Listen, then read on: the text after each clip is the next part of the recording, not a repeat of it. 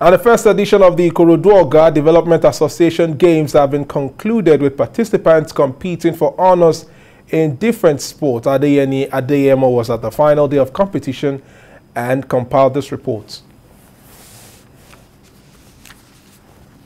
The Maiden Ikorodu Oga Development Association Indoor Games have been concluded, with participants competing in table tennis, snooker, chess, Scrabble and other games.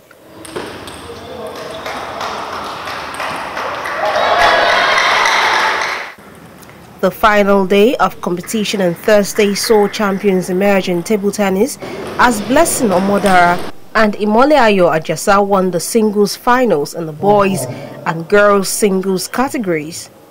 Imole Ayo Ajasa defeated Faisat Musbau in five games 11-9, 13-11, 8-11 and 11-4 to win the girls singles title.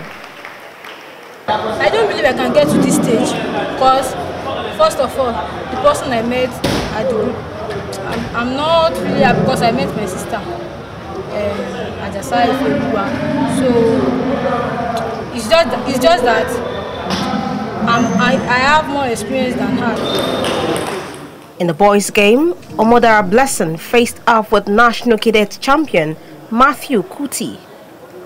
But it was Omodara who defeated his highly rated opponent Matthew Kuti in five games to emerge champion.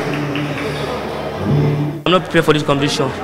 When there's no rack, there's no bat, there's no there's no canvas. I want to be like like like I don't know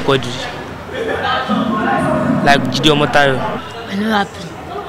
I lose that match. Na service and that table that table is no good um, and that net.